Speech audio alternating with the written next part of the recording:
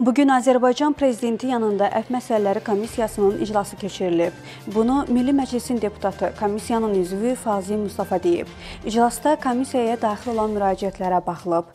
Millət vəkilinin sözlərinə görə Novruz bayramı ərəfəsi əf fərmanının veriləcəyi gözlənilir. Sabahdan 50 yaş və daha yuxarı şəxslərin COVID-19 xəstəliyinə qarşı vaksinasiyasına start verilib.